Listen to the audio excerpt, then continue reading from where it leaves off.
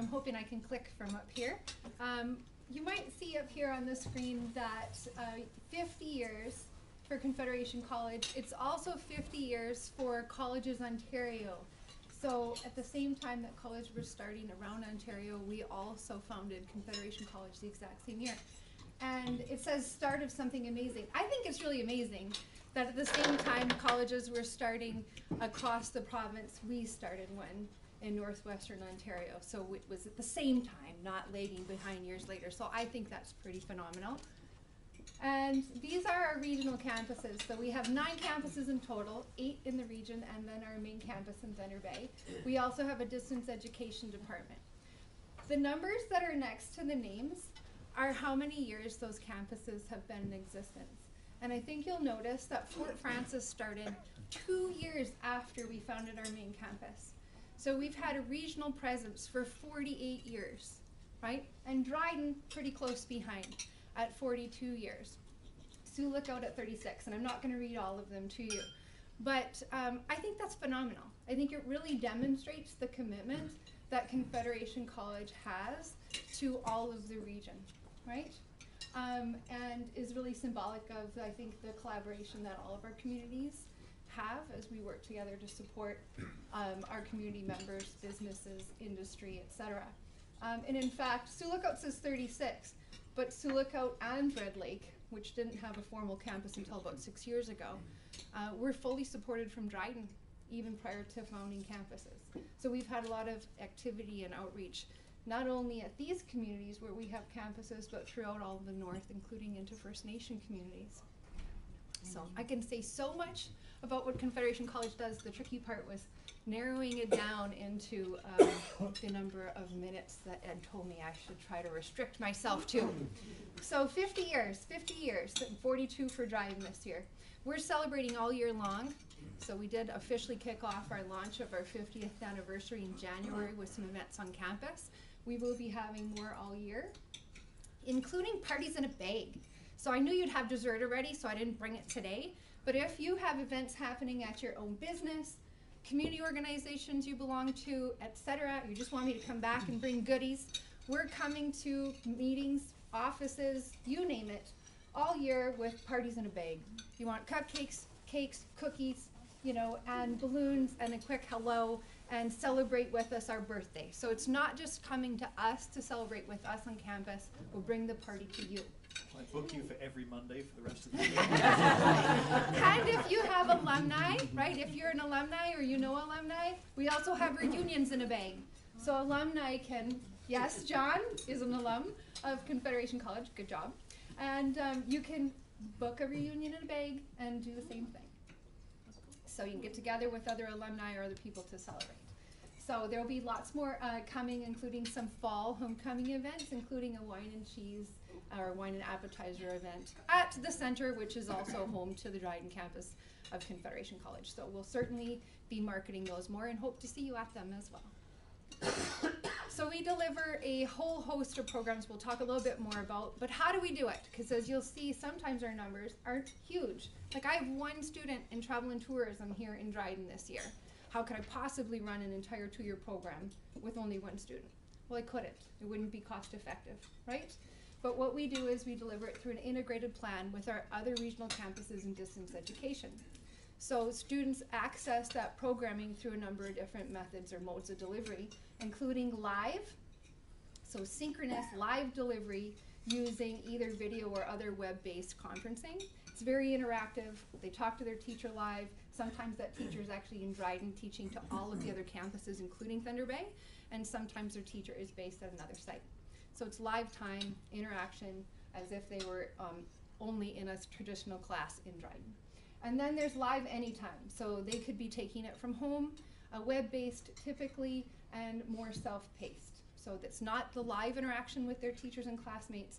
It can be whenever the time works for them. 11 o'clock at night, Sunday morning, whatever works. And then there certainly are traditional classes that are face-to-face, -face, teacher only in the classroom in Dryden, and then there's hybrid or blended delivery, so a mix of all of the above. Um, some of the highlights of that plan, well, for fall, 2016 and winter 2017, we have roughly uh, 385 students across the region in full-time programs, plus a whole host of part-time students moving through programming at their own pace. We offered 26 different programs in the fall here to Dryden community members and across all of our other campuses. So 26 programs available to choose from. 19 were going into their first semester, and uh, seven were going into second year. And we actually have a lot of students who go to Thunder Bay and decide they want to return. So they transfer back to us in second year. That's why what's available for second year returning programs is also important because people sometimes want to change the campus that they're continuing at. So in Dryden, we have 72 full-time students right now, plus a whole host of uh, part-timers as well, in 18 different programs. So we have 18 different full-time post-secondary programs happening right here. So uh, all the different schools that are represented uh, from the college have programs running. So the School of Health and Community Services, so that'd be things like paramedic, practical nursing, personal support worker, those types of programs. Pre-health, so to help people get some of the skills they need in order to enter those career programs. Uh, business, hospitality, media arts, engineering, technology, and trades. We also continue to deliver the Bachelor of Science in Nursing program in collaboration with Lakehead University.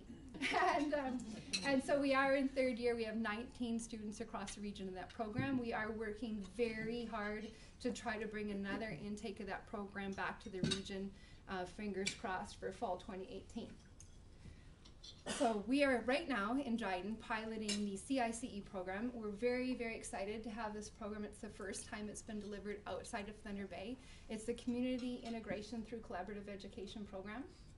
There are only three students in the program. This is a very special program uh, for very special people, people who may have physical learning or other challenges that would have made it um, nearly impossible for them to take a post-secondary program in any other way. So they have their own core CICE courses to assist them with anything from personal skills to social skills um, to planning, time management, you name it. Um, working with employers, a lot of employability skills. Um, and there's a, uh, there's a lot of extra support. So they have their own integration facilitators who attend classes with them, um, take notes, tutor, etc. They also take core courses in other programs. So, for example, we have a student who's looking at the educational assistant program. So she takes one or two courses in the educational assistant program every semester as well. And it's a two-year program. They graduate from the CICE program, and um, and they have placements for three of the four semesters. So the goal is to help them find viable long-term work. Um, and many of them already have jobs for the summer based on the placements that they had uh, this semester. So it's really exciting. Uh, they're probably our favorite students and really uh, keep everybody focused on what we're here for, right? Um, and um, they're just so motivated, so exciting. Um, I'm going to talk more later about something I want you to do. So um, you have to come see us. Come see us and come to our graduations. I'm going to say that again. You'll hear that a few times. School College Work Initiative is another thing that we absolutely love. So some of you may have heard us talk about this. Some of you are familiar with it. Um, and this is our dual credit programming that we do in collaboration with the high schools. So that means students that are in high school take high school classes and college classes at the same time. They get credit both for high school and college. So sometimes it's a course that we deliver fully and they get both high school credit and college credit and sometimes it's team taught and it's integrated with another high school course and our course. Um, we do more and more college delivered. Um, and it ranges through a variety of different areas within the college as well. So all of those different schools that we talked about and types of programs are often represented. A picture across the whole region is that we have uh, four different school boards that we work with and three First Nation high schools, 18 different high schools that are receiving dual credit programming across northwestern, northwestern Ontario. Um, in Dryden and Sioux Lookout, uh, we partner with six high schools. So the Dryden and Lookout campuses themselves partner with six different high schools, uh, in, including Pelican, um, Pelican uh, Falls First Nation High School. These are the courses that we're currently delivering in Dryden this year. So we've either delivered in the fall or currently delivering in the uh, winter term. And then uh, we've had a variety of them for many, many years. And the neat thing about the Building Skills for Success is that we kind of do that in a hybrid model It's uh, the asynchronous, asynchronous live anytime, but it's supported on the high school side by live sessions with the, the uh, dual credit teacher from the high school. So there's a high school teacher attached to that class. They sit down and work with the students weekly. We have a live time with our teacher as well, uh, once a week, and then the rest the students can work on at their own pace. But the other really neat thing is that we're reaching all of the K- KPDSB high schools with that class. So it's not only to Dryden, it goes to all of our Keewatin Patricia District School Board high schools simultaneously. So it's pretty exciting and offers that including to uh, um, Pickle Lake and Ignace where we don't have uh, a physical presence. So it expands dual credit programming across the whole board. Summer school has been smashingly successful. We've done this for a number of years in Dryden, um, Sioux and Red Lake. And uh, Red Lake just started doing it last year for summer. 100% success rate for high school students, primarily at risk students, not all of them. at risk can be also defined as just not sure what my career path is going to be. What am I going to do after high school? And there are a whole lot of people in that boat. but we had three courses last year in Dryden, um, two in Lookout, all 100% success rate. So they gain their high school credit and their dual credit, and they keep moving forward towards obtaining their OSSD, right? Which is one of the big reasons. It's to try to re-engage students who might not be engaged in high school in continuing, right? Continuing engaging in their classes. I mean, if you can pass my class, why can't you pass the one that you're doing in grade 10, 11, or 12, right? And they start to see a future and an interest in other possibilities and potentials for themselves. So we absolutely love dual credit, and we're always lobbying the province for more, more money, more opportunities, more diversity in who we can deliver it to. So we have a lot of helpful, friendly staff here at the campus who are here to assist all applicants. So people come in for help to apply to Thunder Bay or go elsewhere. We even have people who are writing admissions tests to other schools, right? Other colleges or universities, and we support them with that as well. Real estate exams, you name it. Uh, we've kind of got it all going on in that in that case. Um, so we help students with selecting programs of choice, um, so academic advising, applying to the Ontario College application system, applying for financial aid, recommending other funders or agencies in town that might be able to assist them with funding as well. Um, certainly, if they want to go to Thunder Bay, uh, applications to residence as well. So lots, lots more. Those are just some examples. Our regional campuses are full service campuses. We're smaller, but I always say, uh, while we might be smaller, we're equally as passionate, right? And so, um, where there's a will, there's a way, and we make it happen. So, it might not look exactly the same, but all the services are still available. So, this is just a listing of some of them uh, from counseling to financial aid, tutoring, a variety of tutoring services, peer tutoring, professional tutoring. Uh, we also have lab technicians who provide additional support for clinical skills for paramedics, practical nurses, etc. Uh, we have our own local student councils at each campus. Uh, so students planning activities on campus, off campus, you name it. Um, we have a very engaged student body. Uh, speaking of which, you know, who are our students? Our students are, are quite diverse. We have students who come straight out of high school. We have students who wait a few years and return. We have students who range anywhere from 25 to 55 or older. We have people who are coming to school for the first time, people who are coming back for their second or third career, um, or they're coming back for a postgraduate diploma. So, for example, concurrent disorders, people who are working in the nursing field, social work field, um, etc., come back to learn more um, so that they can, you know, take that back as professional development into their current fields. So, I think our our student body definitely represents the communities that we live in, and it is quite diverse. In the region, typically our learners are more mature um, in the age category. Uh, then Thunder Bay tends to be more direct out of high school, but we've seen more balance with that over the last few years, where we actually get more and more direct out of high school, and Thunder Bay is seeing more and more returning older students. So we do employ quite a number of people. This is just numbers from Dryden. I didn't include Sioux Lookout. Uh, we have close to 40 faculty and staff in Dryden.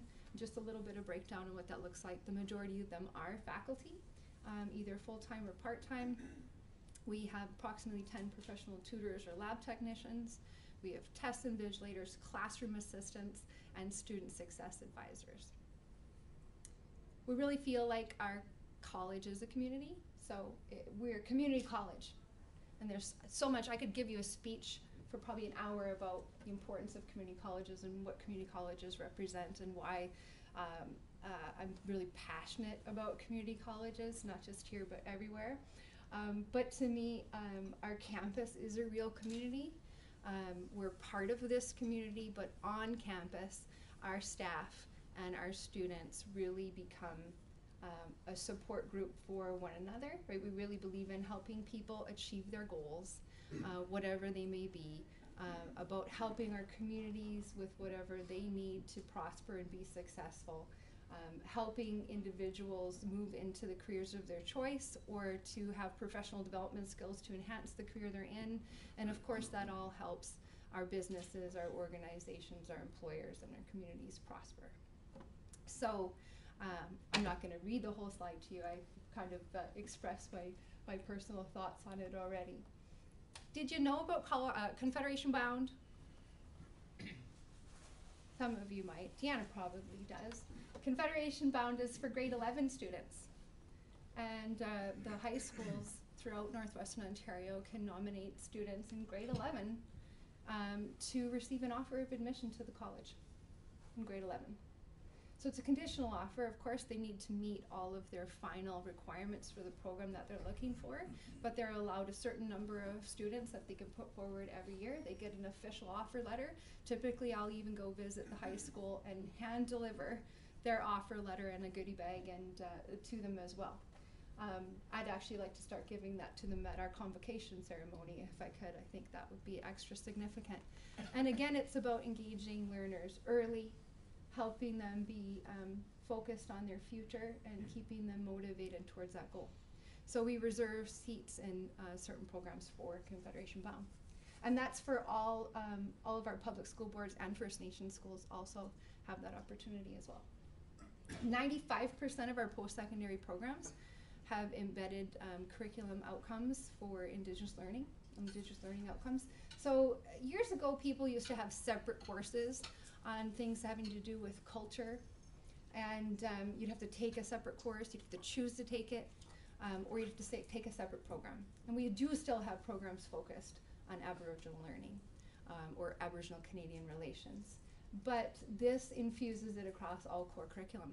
So everybody gains those knowledge, skills, and abilities. We are second in the province for graduate satisfaction rate, and our student satisfaction rates meet or exceed the provincial average. So we're pretty happy about all of that. Um, but we look at it, of course, as always a continuous improvement model, and what else can we do to continue to improve and to support students. We're pretty excited about Sioux Lookout. It's going to have a new campus in 2018, and we're partnering with school board on that. So we'll be co- located with the new Sioux Lookout High School. So that was when we were they were breaking ground last fall. So we're very excited. And we'd like you to join us. There's lots of ways you could join us. Join us by celebrating, right? Join us by celebrating, having those parties in a bag, coming to your morning meetings, Peter, and uh, join us as a professional. Join our team. You can be a tutor. You can be a teacher, uh, etc. So we're a community. You're part of our community too, um, and you're what helps make us strong, and uh, as well. So our convocation is June 20th.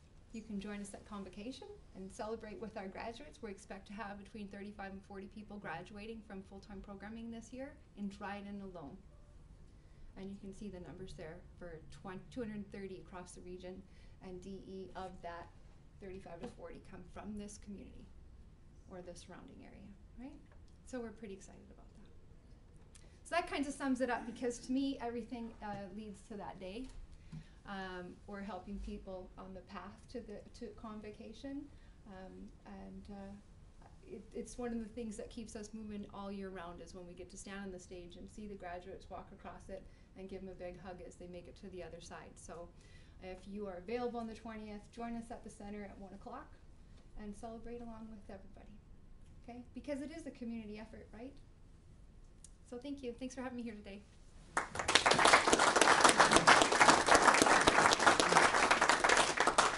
there any questions? Okay, Jack, you first. And Selena, you talked about the remote access that Pickle Lake and the Yeah. Indians have. to the building skills dual credit. Mm-hmm. Um, has Confederation College engaged or are they planning on engaging some of the remote First Nation communities that offer education up to grade twelve? Cause I see that as a real motivator for kids to. Yes. So, uh, good question. And one thing I'm gonna, uh, yes. And I wanna talk about Pikangikum for a second because we in fact have had two graduation ceremonies in Pikangikum, co- convoca- Confederation College convocation ceremonies in Pikangikum's first time that we've ever done convocation not on campus. Um, but we were working with uh, Pikangikum on their White Feather Forest training initiative for about five, six years. And so Dryden actually was the lead uh, campus on that partnership. And we did in community training, and it was also a hybrid, so there was some actual delivery on site in Pikangikum and some uh, via distance learning. Uh, with support in the community for the students as well, so face-to-face support to enhance that. And, um, and we had students graduate from a number of first one-year programs and then also from the forestry program um, to, to meet their needs. So that's just super exciting. That was a very special delivery, of course, um, but we continue to work with our First Nation um, partners on options, especially remote First Nation partners on options to continue to do similar types of delivery um, and have supports on the side for them because it really helps them if they have some in community support uh, in the classroom for the distance learning. Having the distance available from our end is fairly easy. Uh, we want to help them with some infrastructure upgrades because sometimes that can be one of the tricky parts about the, uh, the technology enhanced learning, right? About the connectivity and making sure it's strong and reliable. So absolutely. Yes, I had a question. In the past, when I took Lakehead University courses, there were senior citizens that were allowed in at a reduced fee because they wanted to just Mhm. learn whatever the topic was. Is there anything like that that you offer? That's a darn good question, and I will have to check. Norm, you had your hand up? Yeah, thanks, Carl. Uh, Angeline, I know we all really appreciate having Confederation College here. It's great to see it's active and expanding its programming and access. One, one of your slides piqued my interest in it was one that had on it uh, workplace readiness and was Mhm. another one in- in that same sort of category. And the thing that piqued my interest is we have, if you believe the numbers, and they may be understated because I'm not sure about who all gets reported, but we have something like an eight percent unemployment rate in, in the local area, and that's Mhm. not dissimilar for some of the other local communities. Having said that, I know that there are a lot of local businesses that are having a hard time finding qualified people. So the high unemployment rate and people looking for workers. Right. Has Confederation College looked at that gap and have you, what are your thoughts about that gap and how potentially to close that and what role Confederation College can or will play in that? Sure. Uh, yes, we do. Um, there's probably a number of things that um, that fall into that category. So, um, one, uh, sometimes, so there's a lot of things on this path I'm going to talk about. One is that sometimes we're offering the program that would fill one of the employment needs, but people aren't aren't applying to it. Um, uh, sometimes, you know, we can we market it and market it and market it um, that it's available, but um, people want to hear an employer say, you know, we, we have openings in this. Like there, th- sometimes it's like um, mining's a really good example, right? We've run mining related programming for for years, um, but but sometimes people won't uh, go take the training because they want to make sure they have a job, and sometimes you have to do the training so that when the jobs are ready, that you are trained to to fill them. Uh, for example, personal support worker is a good one. There are a lot of need for personal support worker right now. Personal support workers. The homes need more. Paramed needs more. Sioux Lookout's going to be building an additional facility, 90 bed facility. They are going to need personal support workers. They talk about this all the time in the community and in the news and wherever they're talking to you know community groups, etc. Um, do you know how many people in Sioux Lookout take the personal support worker program every year? We run it every single year and often twice a year. We have one personal support worker student in Sioux Lookout this year. So we talked to the hospital in Sioux Lookout and said, you know, probably what we need to do is some joint advertising, right?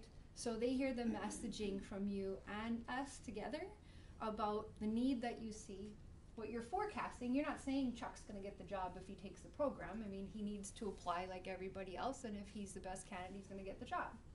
But you're letting them know it's coming, and you should have at least this in order to be eligible to apply.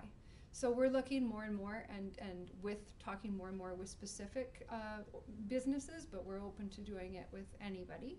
Um, but organizations that we know have expressed this interest to us as well um, at doing it. So uh, we've been talking to a lot of the nursing homes in the region as well about um, similar issues that they've been having and how we can work together, not just uh, not just Meno Ya Win. Um, Northwest Employment Works is actually uh, part of Confederation College in Dryden, so it's it, the, that is not uh, the employment services aren't run by Confederation College everywhere, but Northwest Employment Works Thunder Bay and Dryden are both actually uh, run by Confederation College. So um, certainly we work closely with them, not just the campus here, but the entire college works closely with the Employment Services branch um, to look at you know trends, needs, etc. Um, the Can- Canadian Ontario Jobs Grant, um, you know, was was recently out the last couple years, and then we've reached out to employers to say, you know, does this fit your need? How might we be able to help you? So Northwest Employment Works certainly has done that and helps with the applications for individual employers, but the college and the training division of it um, will also say, is there anything we can do to help you? So one-off applications typically go through new, and bigger, um, I need to train X number of people through an extended program. Would we'd work with them um, in a different way? So we'd set up and help them with proposals and that kind of thing as well. So that's, I, and I'm only touching on a smattering of things that we look at and try to support. We're working very closely with Dryden Native Friendship Center and the team that they have together on the Homeward Bound program uh, to try to help um, single mothers with um, job readiness, um, academic readiness, and then coming into um, either on the job training or into uh, post secondary uh, training so that they can gain employment, long term sustainable employment for themselves and their family. Uh, so we've been a part of that team um, and you know a number of other initiatives in, in all of the communities, including Dryden and Lookout.